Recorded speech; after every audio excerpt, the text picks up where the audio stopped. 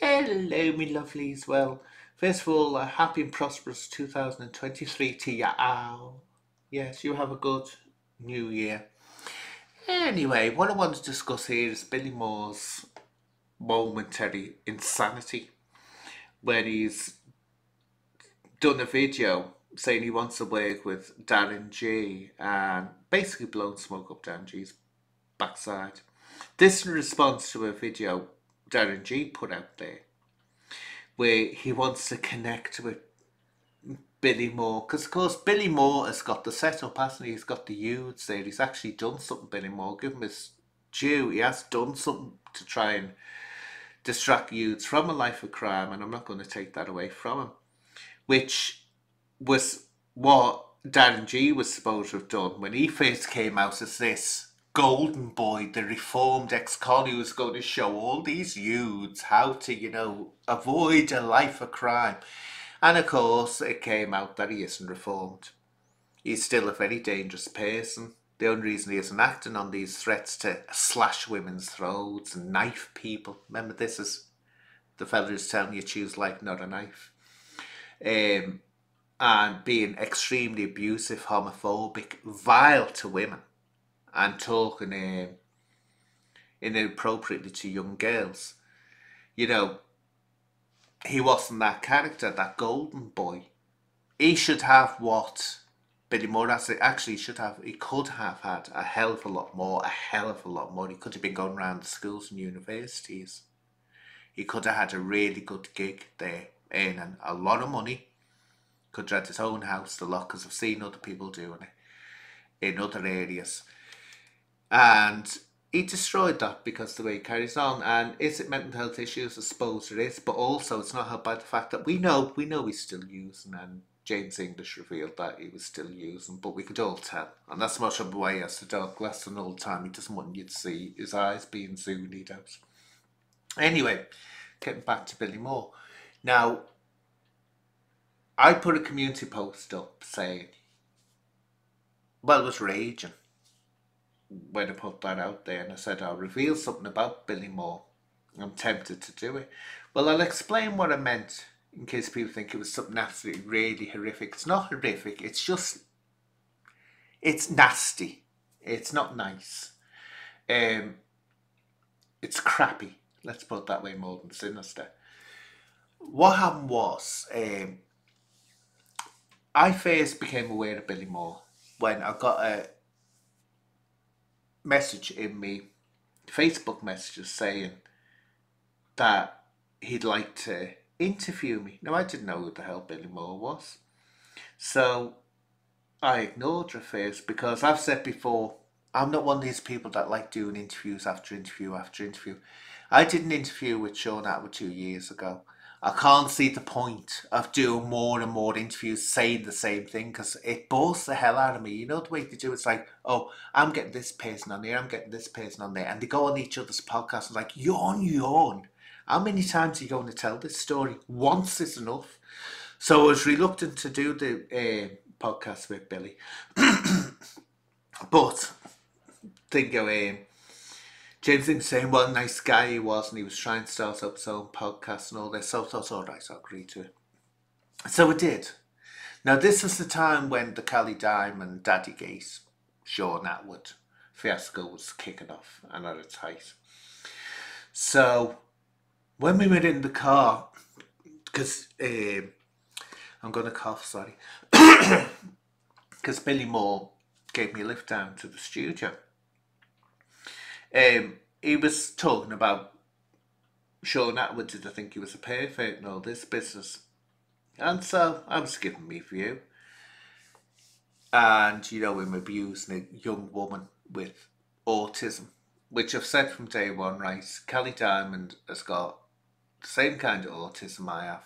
She's fully aware what she was doing. She's an equal partner with what went on with Sean. And I've said that even when I was fuming with Shaun Attwood and he was lying about me.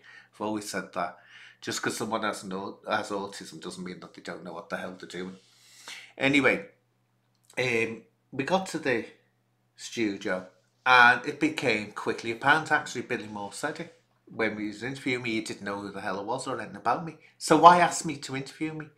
Then it became clear it was all about Sean. I'd been got, had been asked on there basically just to diss Sean, and it would have been James English that made the suggestion, no doubt about it, because James English knew me, knew about Daddy and all this. Billy Moore didn't know about me, didn't know anything about me.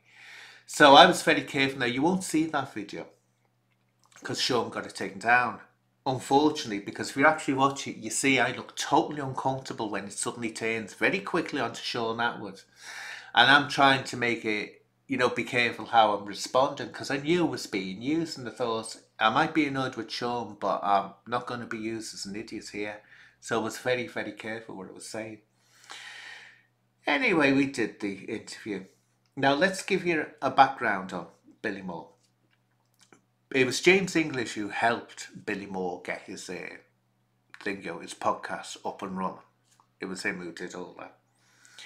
So a few months later, I decided to give Shaun Attwood a second chance because we were getting, I was getting all this from Sean. No, oh, it was a mistake, you know, I didn't mean to do it, I wasn't thinking. And I thought, look, maybe it was just a mistake and he, it was a disgusting mistake, but he was getting hammered from all sides. So I thought, all right, let's uh, put an end to this. He's been punished enough for what he did. Big mistake because he hasn't changed one bit. Shaun Attwood, he's still exactly what he was like before and never will change. Very much like Darren Gee when you think we're very much like Darren Gee. So I did an interview with Sean again about ACB anti-cyberbullying. It wasn't talking about my life and the struggles with the Merseyside police and all this. But before we went in to start filming, we started talking, and he said to me, he said, you know, Billy Moore has been going round um, telling people not to have anything to do with me and slagging me off to people because they went to Sean and told him. Sean wouldn't have known otherwise. So I said, oh, I said, that's not very nice. Then Sean told me, and this is what I meant in my community post when I said, oh, I could reveal something. Sean revealed, told me something and I thought that's not nice at all. Um, Billy Moore, when his film, you know, uh, Prayer Before Dawn, well, the film about his life, came out, the premiere, he couldn't attend the premiere because he was in prison. But the details behind that are that he'd burgled his female neighbour's property. And silly things like flip flops and drinky talk and all this. But I'm sure Joe, Sean said something about one of the neighbours was um, and I'm trying to, I can't remember exactly what it was, but was disabled or something. And that's what made it absolutely worse. Well, Sean was the only one that reached out to Billy Moore at that point. This is what Sean said. And offered him help because no one wants to know Billy Moore. They were looking upon him as being a scumbag for doing that. So Sean was saying he felt like he'd been dumped on, which I don't blame him for being dumped on. And I thought, that's nasty, that's nasty. No matter whether he doesn't like Sean or not, if Sean was the one that offered him help, he should be thankful to that. So you had, it was quick, you could quickly put it together. James English was offering to help um, Billy Moore start his own podcast off. James English was trying, which he was, behind the scenes to bring Sean down. No doubt about it, 100% that's exactly what was happening. And so Billy Moore was thinking, what could he get out of it? Does this sound like someone else? What can I get out of this? Darren Gee again. Um, so to keep to keep um, James happy, he acted as James Patsy. That's what you can see. He was a patsy for James English attacking Shaw. Anyway, I think he got fed up with it eventually because he sent me a message at one point, Bill Moore, saying he'd like to talk to um, Sean and put it all behind them.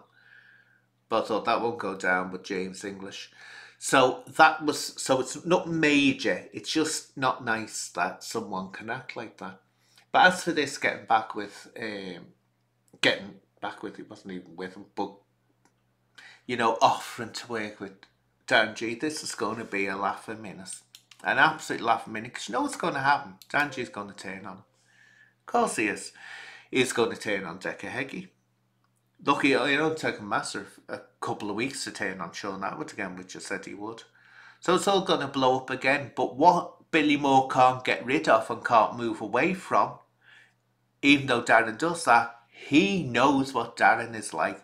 And he's willing to bring this man, who I'll say is a danger and shouldn't be around youths, vulnerable youths. And I don't mean that in a sexual way, it could be, I don't know, but I mean it in a bad influence way. A bad influence way he shouldn't aim. Be there, so it's going to blow up eventually. And will I have any sympathy for Billy Moore? No. Not one bit. And also, there's the danger that when you've got Dan G acting the way he does, hate speech and all this, and threats towards women, threats of physical harm towards women, that's not going to go down with sponsors very well. And it's going to affect it. And shows that Billy Moore doesn't have good judgment and doesn't know what's and this is where I keep on saying no what when you youths people you have to be very careful how you act and you carry on because you're responsible for their safety now I could go on with this but I won't I've just you've just got to sit back haven't you and see what happens if they do get together and start working with each other but it's going to go bottoms up, let's put it that way, because the simple reason Dan and G was, unless he starts getting thousands of views and loads of money from this, he's going to turn on Billy Moore and it'll be my conscience, using my conscience. You know, it's going to be all that again.